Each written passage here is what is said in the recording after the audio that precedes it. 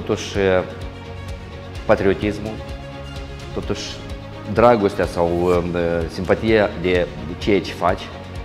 Și e clar că spiritul ăsta nostru național de moldoveni, suntem o țară mică, dar totuși vrem să demonstrăm lumii întregi că putem face, putem crea valori, putem uh, face lucruri mari și de altfel nu numai în uh, vorba în sport, în mai multe domenii. Putem crea valori, putem demonstra lumii întregi că Republica Moldova există, Republica Moldova are viitor.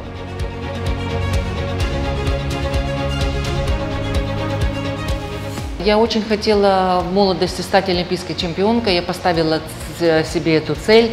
Я э, тренировалась и была вдали от семьи, я очень скучала за дочерью, потому как э, для меня Московская Олимпиада – это была вторая Олимпиада после Монреаля, где я завоевала серебряную медаль. Когда я шла на старт, я настраивалась на свою гонку, на соревнования. Я думала только о том, зачем все это было, Эм, лишение не видеть, скажем, дочь, она не видит мать. Ради чего? Ради того, чтобы только завоевать золотую медаль.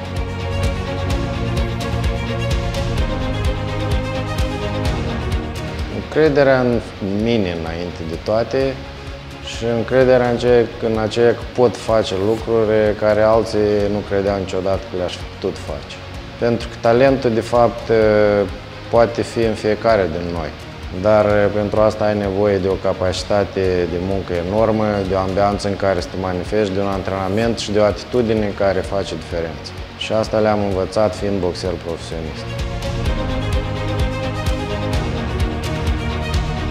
Для меня ценность, которая движет меня к успеху, это мои близкие люди, моя семья, то есть мое окружение – и команда, которая делает все для того, чтобы я и все достигли лучшего результата. Это тренера, мама, отец, брат, э, девушка. И их не видно за, за моей спиной, потому что на старте стою только я один, а на самом-то деле у нас очень большая команда и очень много людей, которые меня поддерживают, за что им большое спасибо. Это самая главная мотивация для меня в спорте.